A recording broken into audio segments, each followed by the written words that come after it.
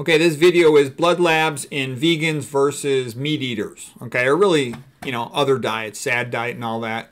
And so the gist of it is that they're better for everything for the vegans. Okay, they'll have lower white blood cell counts. Meat causes a generalized systemic inflammation, elevates white blood, cell counts for multiple reasons: increased risk of leaky gut, postprandial endotoxemia, increased risk of xenosialitis, and other causes.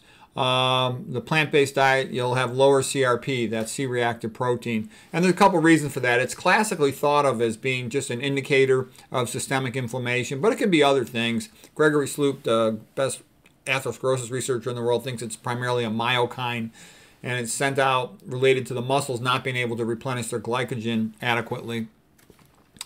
Um, total cholesterol is higher in meat and processed food eaters compared to uh, vegans. LDL cholesterol is higher. Uh, VLDL, very, very low density lipoproteins, triglycerides, they're all higher. All the blood lipids are higher compared to, when I say vegans, I mean low fat vegans, okay?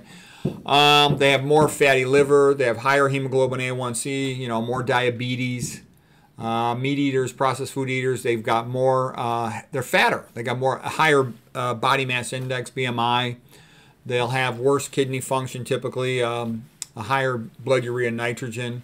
Um, of course, have more atherosclerosis, so heart disease, myocardial infarction, uh, impotence. they have more leaky gut due to lack of dietary fiber, so they'll get more stuff getting across that intestinal barrier, postprandial endotoxemia. They'll have a lack of dietary fiber, so they get more abdominal pressure syndrome. So that's the joke. The vegan diet's better in every single way. I'm not aware of a single way that it's that it's not better than a meat or a processed food diet. It's like a no-brainer.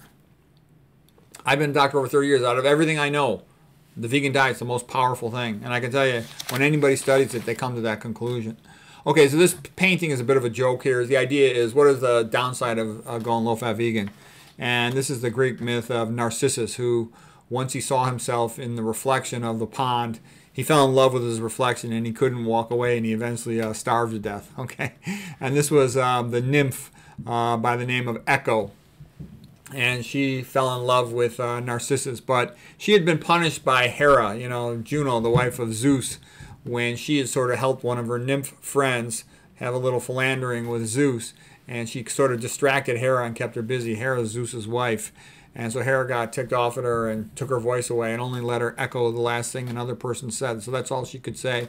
And she wasn't able to get the attention of Narcissus. So, anyways, the joke of it is that the only real side effect of the vegan diet, yeah, you got to take B12, but other than that, you're healthier, your body weight's more optimized, you look good, so maybe you'll make your spouse jealous.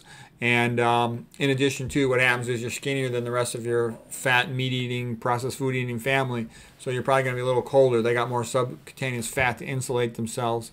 Um, so that's about it. So the bottom line was that the meat eaters and the processed food eaters. They have worse labs for everything. There is no, they have no health benefit. It's not like a close competition, five to four is a score. No, it's like 100 to zero. The meat, processed food, low carb carnivore, paleo, keto, it's all a big joke. It's a big trick to uh, keep the pearls fat, sick, and stupid. Um, so, I mean, this is about as good as you're going to see. They actually think that white blood cell count should be lowered instead of being 4.5 to 11, that it should be lowered to something like 3 to 9. Um, so anyways, cholesterol is a major risk factor for heart disease, coronary artery disease. So anyways, hope that was helpful.